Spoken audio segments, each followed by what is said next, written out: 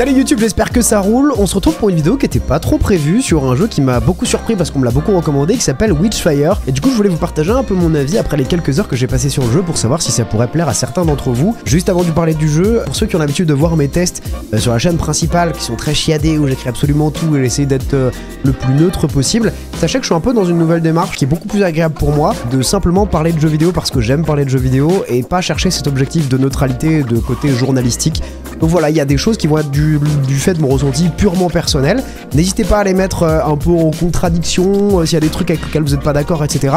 C'est absolument pas dans un objectif de vous convaincre, c'est juste vous parler un petit peu du plaisir que j'en ai eu. Bref, cette petite parenthèse étant faite, je vous parle rapidement du jeu. Witchfire, le principe est assez simple. En fait, c'est un rogue light en FPS. Pourquoi rogue light? C'est comme un Hades, un Dead Cells, etc. Donc vous avez cette notion de niveau qui vont avoir lieu. Et en fait, à chaque fois que vous allez réaliser des objectifs, vous allez avoir des statistiques aléatoires que vous allez pouvoir choisir pour améliorer votre personnage. Et pourquoi est-ce qu'on parle de Rogue Light? C'est que c'est la version un petit peu plus facilitée, dans le sens où à chaque fois que votre personnage meurt, vous n'allez pas perdre 100% de votre progression, vous allez perdre uniquement la progression des niveaux que vous avez lancés, mais vous allez maintenir des niveaux de personnage, des améliorations d'armes, des recherches, etc.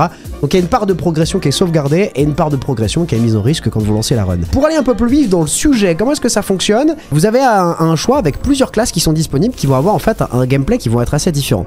Pour l'instant, le jeu d'ailleurs n'est qu'en anglais avec euh, un objectif de traduction et la langue française qui arrivera après. Pour l'instant, c'est seulement de l'anglais parce qu'on est sur de l'accès anticipé depuis un an, je crois. Je suis plus certain des dates, mais au moins vous l'avez à peu près. Vous pouvez du coup créer des profils. Donc là, vous avez vu, j'ai testé deux classes différentes. Je vous montre très rapidement. Euh, si je veux créer une nouvelle classe, c'est assez intéressant à visualiser. Bon, je passe le lore euh, et les petits éléments de DA que vous découvrirez si jamais le jeu vous intéresse. En attendant, en termes de prix, on est sur un accès anticipé un petit peu cher quand même, qui est à 35,99€ de mémoire, donc aux, alentours de 35€ en tout cas. Mais c'est vraiment un projet qui m'a beaucoup surpris parce que c'est plusieurs associations d'idées qui fonctionnent très bien avec une belle DA. Donc vous allez voir. Au niveau des classes, donc là on a les 6 classes disponibles ici.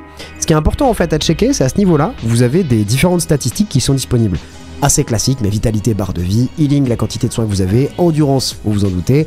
Witchery, c'est plutôt au niveau le temps de réduction de l'usage de vos sorts sachant que vous avez deux sorts que vous allez pouvoir utiliser dans vos runs, un sort léger et un sort lourd. Ça c'est au niveau du coup de la progression en termes de niveau etc. Vous allez récupérer les ressources qui vous permettent les améliorations en tout genre. Et ça c'est la chance du coup pour les taux de loot de ce que vous allez avoir. Donc voilà, chaque classe va avoir des choses qui sont très définies et très particulières. Là en fait de ce qu'on a, on va être sur un game style qui va beaucoup plus s'orienter autour de l'usage de l'arme. Alors que si je pars par exemple sur un Slayer, on est sur quelque chose qui est beaucoup plus orienté autour d'une énorme réduction des sorts beaucoup de réduction de temps de recharge et donc un usage de compétences qui est vachement agréable.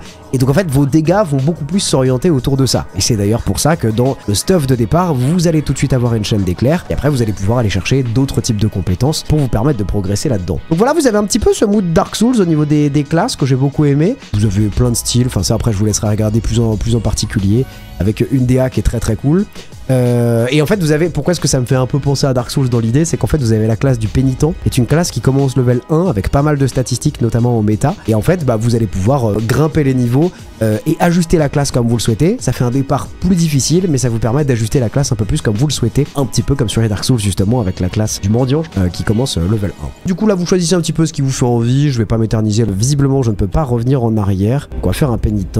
Et du coup, là, je lance une nouvelle run. Donc, je suis level 1, zone de départ, l'espèce de foyer dans lequel on va faire toutes les améliorations. Faut savoir que c'est une petite équipe indé qui bosse dessus. Je trouve que la DA est très très très réussie. J'aime beaucoup le, mood qui fait penser à plein de choses. On a un petit peu de Showdown, on a un petit peu de Bloodborne, on a un petit peu de tout ça. C'est vachement agréable et, euh, et, ça fonctionne très bien. Là, c'est tout simplement un maintien d'entraînement avec euh, un petit démon qui est complètement isolé là-dedans pour tester les dégâts, les armes, les vitesses de tir, tout ça, tout ça. Au niveau de l'interface, c'est assez épuré. En bas à gauche, vous avez la mini-carte avec le petit point qui est indiqué qui en fait indique la localisation des ennemis. Ça a son importance, vous allez voir pourquoi. Ça, c'est une espèce de jauge d'alchimie, donc il faut passer quelques niveaux. Visiblement, je peux pas l'utiliser. Qui me permet de créer des potions. Potions pareil dont le, la jauge est indiquée en bas à gauche. Là, j'en ai qu'une seule. Et au tout départ, c'est un peu compliqué. On en a pas beaucoup. Donc vous allez voir que c'est un jeu qui est assez exigeant en termes de, difficulté. Et quand vous montez à l'étage, après, vous avez tout un tas d'améliorations que je vous montrerai plus en détail. Là, c'est pour le passage de niveau. Dès que vous avez suffisamment de ressources, qui sont donc ici, vous allez pouvoir améliorer les stats, qui vous indiquent précisément quels sont les impacts sur la classe. Juste à ce niveau-là, vous avez quelques améliorations également qui sont... Tout, ça, c'est pour la magie, je crois. Oui, ça, c'est pour les améliorations magiques. Ça, c'est un outil de recherche. Pareil, ça, c'est level 7, je vais vous montrer juste après. Je vais passer tout de suite sur l'autre classe plutôt que de vous dire je vais le faire après, ça sera plus agréable. Vous pourrez comme ça tout visualiser. Et ensuite, je vous lancerai une run euh, dans laquelle j'irai pas jusqu'au bout. Hein. J'essaierai vraiment d'aller à l'essentiel pour que vous puissiez voir. Je vais aller sur mon Butcher, qui est level 17. Donc voilà, là j'ai d'autres armes qui n'ont rien à voir. Donc ça c'est l'arme de base du Butcher. Et donc là on est beaucoup plus sur euh, un système de mitraillette avec une recharge que vous voyez euh, au milieu de l'écran au niveau de, l'arme. Sachant que quand je suis dans une jauge cold, c'est là où je fais les dégâts minimaux.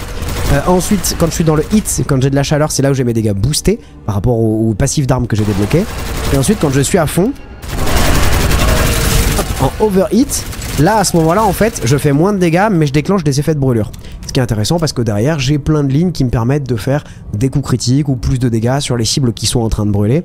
Donc voilà au niveau de la gestion des armes. Ensuite on a trois armes différentes. On peut faire des recherches pour avoir un petit peu plein de choses. Là j'ai un sniper, mais on peut avoir un fusil à pompe, etc. etc. Et une troisième arme qui est beaucoup plus situationnelle puisque je n'ai que trois munitions et c'est compliqué d'en trouver d'autres, qui me permet d'avoir une espèce de, de grosse explosion euh, sur, sur des gros packs d'ennemis. En bas à droite, vous voyez du coup euh, la tête de mort avec 4300 points, qui correspond donc à tout ce qui va articuler votre, euh, progression, les améliorations de niveau, les améliorations d'armes, etc. Euh, à cet endroit-là, qu'est-ce que c'est déjà exactement? Ok, là c'est les prophéties pour avoir des passifs qui vont avoir de l'impact directement sur votre style de jeu. Par exemple, euh... Bon, je sais plus exactement ça comment ça fonctionne. On a senti mon moment de vide ou pas quand je ne me souvenais plus à quoi ça correspondait la stat? Yes, very sad. Anyway. c'est pas grave. Vous voyez, c'est une amélioration passive que vous débloquez petit à petit. Là, du coup, euh, le workshop, on va pouvoir déclencher des recherches. Système plutôt intéressant. Vous avez plein d'armes en fait qui sont ici. Là, vous avez plein de passifs, etc. Et par exemple, si je veux récupérer pour mon build, récupérer un fusil à pompe, en fait, je peux tout simplement cliquer là-dessus. Ça va me demander des pièces d'or que vous avez vu en bas à gauche qui vont me permettre de déclencher la recherche. Et ensuite, du coup, quand je vais partir en run, eh ben, j'ai cette jauge de recherche qui va avancer, avancer, jusqu'à me débloquer le fusil à pompe que je vais pouvoir utiliser après. Là, vous avez tout un tas de choses. Les armes à moyenne portée, longue portée, type de munitions, spell euh, léger, spell lourd, les prières d'invocation. Et là, après, vous avez plein d'équipements, des anneaux, etc., etc., que vous débloquez selon les niveaux. Donc là, par exemple, je peux pas encore le faire. également selon le nombre de gold, sachant que je n'en ai plus, euh, justement, suite à cet exemple. Donc là, ça vous permet de faire des recherches. C'est assez agréable d'avoir ce, truc de progression pendant qu'on part jouer. J'avais beaucoup aimé. À ce niveau-là, c'est au niveau des améliorations. Là, j'ai pas d'amélioration à vous montrer parce que j'ai tout utilisé. Globalement, c'est un parchemin à récupérer. Mais en fait, si on regarde au niveau de l'inventaire, vous voyez qu'en fait, il y a une notion de passif. En fait, vous pouvez faire level up vos armes. Donc à force d'utiliser par exemple ce fusil, euh, j'ai pu débloquer la première condition qui fait que je fais plus de dégâts quand l'arme est dans la zone chaleur. Euh, et par contre, je fais moins de dégâts quand elle arrive dans la zone sur chaleur. Et par contre, le niveau 2 me permet de dire, ok, bah maintenant, dès qu'elle est en surchaleur, je vais appliquer de la brûlure. Maintenant que je veux la troisième étape, il faut que je réalise certaines quêtes, donc tuer un certain nombre d'ennemis, etc., etc. Et il faut que je loot un parchemin d'incantation qui va me permettre de débloquer et d'éveiller finalement mon arme. Donc en fait, quand vous choisissez une arme, c'est intéressant de l'utiliser et aussi d'utiliser vos armes secondaires, justement pour pouvoir les débloquer, parce que sinon vous allez sentir des armes qui vont être un petit peu faibles dans les situations. Donc voilà, ne pas hésiter à tester, et plus vous allez farmer, plus ces armes, même secondaires, vont être assez efficaces. Voilà, voilà. Là, les reliques, j'en ai pas encore, j'ai pas le niveau. Euh, ça, c'est des espèces de petits fétiches. Chacun, pareil, ont des statistiques un peu particulières. Celle-ci, par exemple, quand je suis censé avoir un coup qui est fatal, au lieu de mourir, je repasse mid HP, donc ça me donne un peu un second souffle en cas de souci. Et là, j'ai un anneau, pareil, qui, à chaque dash, va mettre une petite bombe derrière. Ça, vous l'aurez pas après, mais voyez un petit peu à quel point ça impacte le gameplay. Et donc ça, c'est votre style de jeu que vous allez avoir systématiquement quand vous partez en run.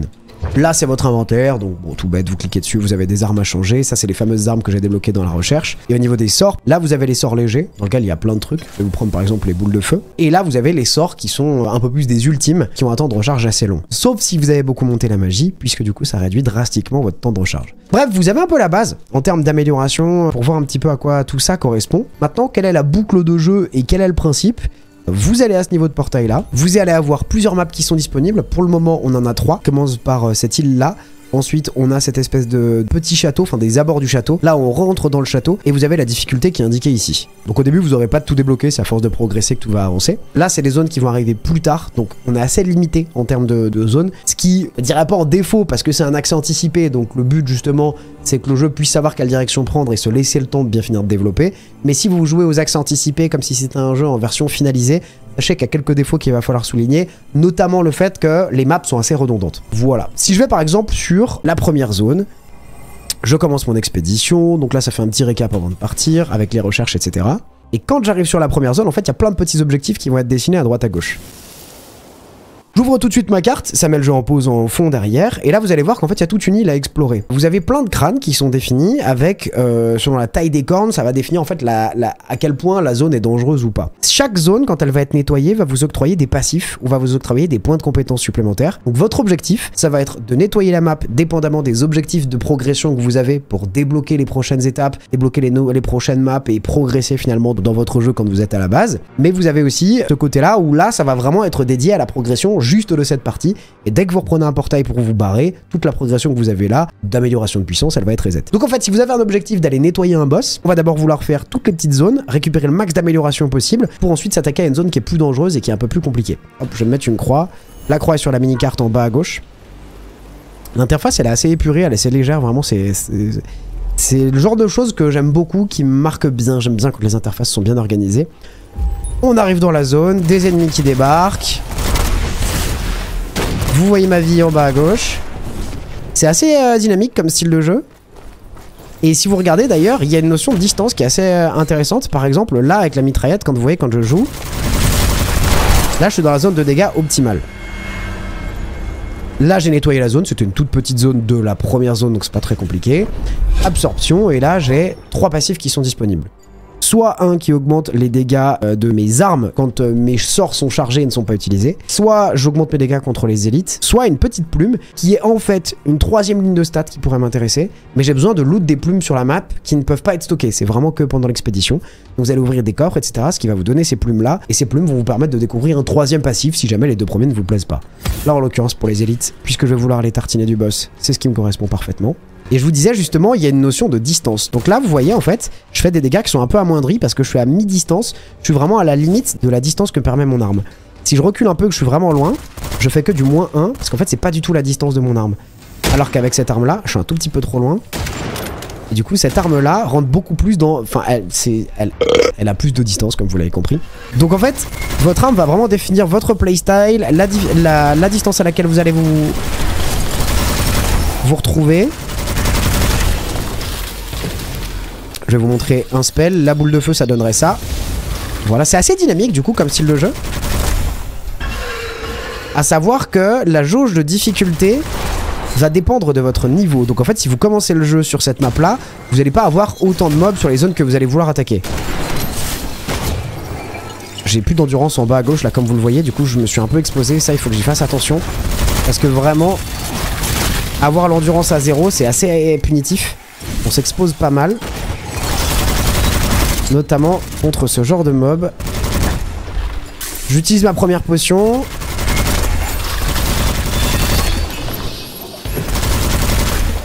Donc au tout début, comme je vous disais, vous n'allez pas avoir autant de mobs. Parce qu'en fait, le niveau de difficulté va dépendre de votre niveau à vous. Si votre personnage est level 6, vous allez être dans les premiers niveaux. Il y a assez peu d'ennemis, le bestiaire est assez limité. Plus vous allez passer des niveaux, plus vous allez débloquer de nouveaux bestiaires, plus il va y avoir de nouvelles difficultés.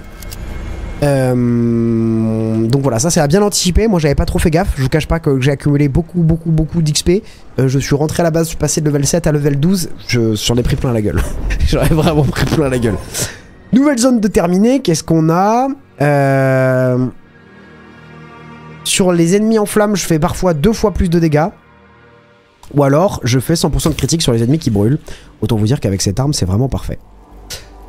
Euh, je vous ai dit pour le niveau, je vous ai dit pour le bestiaire. Euh, on va continuer un petit peu la progression. Donc là, je vais être dans un objectif de nettoyer la plupart des camps. Et vous allez voir que plus il y a de camps qui sont nettoyés, plus je vais avoir des bonus de, de, Witchfire qui sont en bas à droite là. Euh, donc des bonus d'XP finalement. Hop, on va essayer de nettoyer ça vite que je puisse vous montrer l'intérêt justement de tout nettoyer systématiquement pour vous mettre dans les meilleures conditions possibles. Là j'ai un fameux coffre. Hop là, et vous avez vu dans la récompense Deus Vult, tout à l'heure j'avais 100 points de, de- d'XP, maintenant j'en ai eu 200.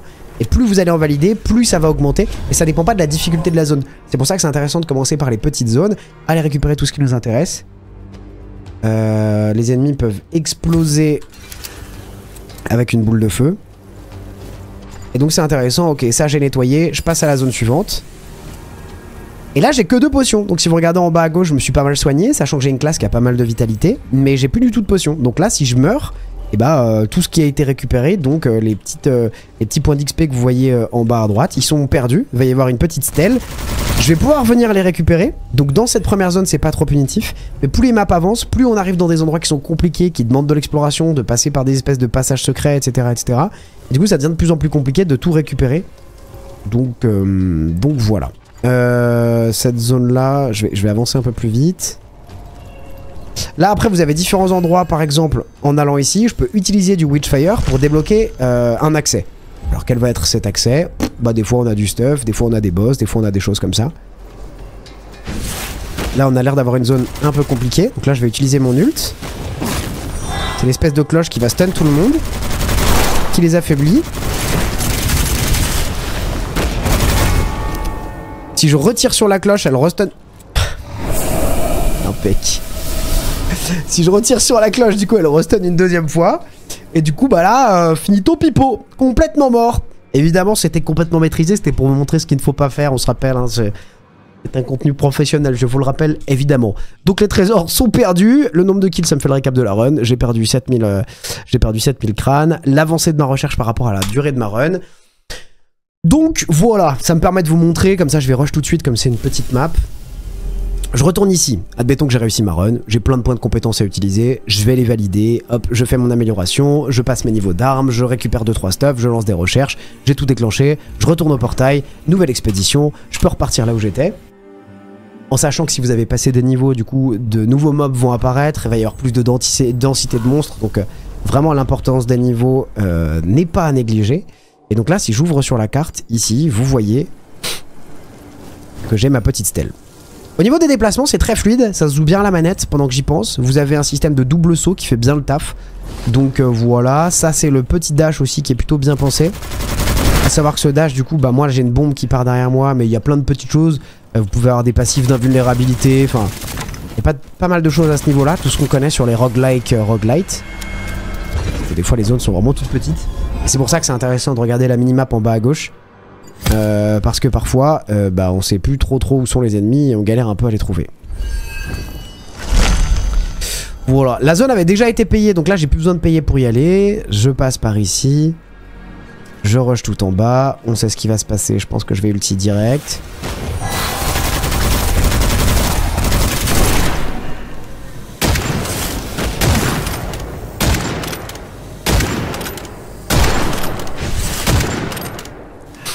Là, mon sniper est en arme secondaire, mais il y a des builds qui sont hyper intéressants au snipe, comme par exemple la dernière balle du chargeur va faire x2 en dégâts, etc. Donc là, si je retire dessus, ça, redéclenche du stun. Euh, par contre, attendez. Ok. Et donc là, je peux récupérer mes points. On collecte tout ça. On récupère les points en bas à droite. On continue d'avancer pour voir un peu ce que ça va donner. C'est une zone que j'ai d'ailleurs jamais faite, donc j'ai absolument aucune idée d'où on va. Et c'est une petite équipe et la DA je la trouve vraiment chambée. Je sais pas si c'est un truc que vous appréciez, je sais pas si ça vous parle. Mais moi c'est vraiment le genre de jeu qui me font bien bien bien kiffer. Même si juste à la fin de la vidéo là je vais vous expliquer euh, les petits défauts que j'y ai trouvés. Oh lolo.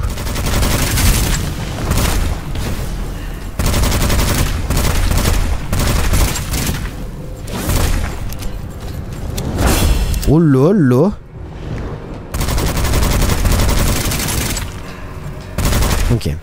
J'ai plus de potions, j'avance un peu comme un bourrin. Le jeu, vous l'avez vu, est vraiment pas évident. Il y a quand même euh, pas mal de difficultés. Il y a des endroits d'ailleurs où c'est vraiment pas simple à jouer, alors que de base, c'est plutôt mon genre de jeu. Euh, c'est pas forcément les jeux que je traite en vidéo, etc. Mais euh, je suis un grand fan de Doom, Doom Eternal, je suis un joueur un showdown. Enfin, vous voyez, les jeux de tir, c'est un truc que j'aime bien. La difficulté, c'est des choses que j'aime bien. Mais il y a quand même des endroits où ça boxe un petit peu. Donc pour ceux qui veulent l'aspect roguelite, un petit peu plus euh, chill, où on n'a pas trop besoin de se casser la tête, on n'a pas besoin d'être giga focus. Ah, il y a un monde où ça vous fatigue un peu, vous dites, oh, j'étais pas trop dans cet état d'esprit là. Euh, je le précise quand même. J'ai vraiment plus de potions, ça va être la galère là. je pense qu'on va déguster. Euh, voilà. Ah, j'avais pas vu. En fait, c'est un donjon. En haut à gauche, en fait, j'ai un objectif qui s'est déclenché où j'ai 4 minutes pour, euh, dérouler le donjon. Donc on va aller jusqu'au bout. Et pour ceux qui ont compris au niveau du gameplay, etc. Oh putain. Bon ça D'accord. Alors là, faut que je vous explique. Là, il y a une jauge de folie que vous voyez en haut à droite. Mais normalement, elle est censée arriver progressivement. Ce qui veut dire que j'ai dû aller dans une zone euh, à laquelle je n'ai probablement pas accès. Pourquoi est-ce que je peux pas y accéder J'en ai aucune idée. Cette jauge de folie, en fait, elle dépend d'un curseur. En fait, selon le nombre de coups que vous prenez, selon la difficulté de la zone, selon les reliques que vous allez obtenir, que vous allez vouloir ramener de vos expéditions, vous allez pouvoir déclencher une jauge de folie. Ça dépend pas de ça, là. Qu'est-ce que je suis censé faire? Mhm. Probablement... Euh, c'est probablement lié à des recherches, peut-être justement des reliques, etc. pour que je puisse y accéder. Parce que dès que je suis exposé à cette lumière, ou alors, il faut juste pas que je m'expose à cette fameuse lumière. Ah, ça doit être quelque chose comme ça, je pense. un coup de corps à corps histoire de stun un peu.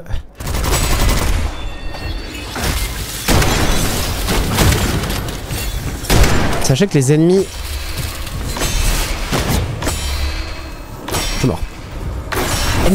Au moins ça vous permet de voir.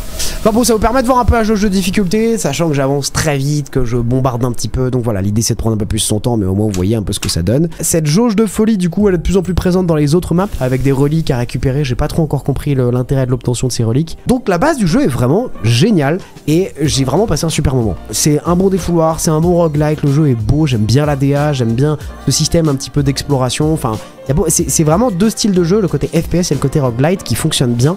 Maintenant, je, je, fais part un petit peu de mes défauts par rapport à la manière dont j'ai joué au jeu et des petites choses qui vont certainement être corrigées du fait que ce soit un accès anticipé et qui peut-être font que c'est pas un jeu à acheter pour le moment selon ce que vous appréciez dans les jeux et qu'il faudra peut-être euh, un peu plus attendre la version 1.0. Euh, Déjà, le premier défaut, c'est au niveau de l'échelle de progression et le peu de maps qu'il y a. Je m'explique, il y a seulement 3 maps. Donc en fait, une fois que vous l'avez fait une première fois, c'est agréable. Vous faites une deuxième fois, une troisième fois, c'est assez cool.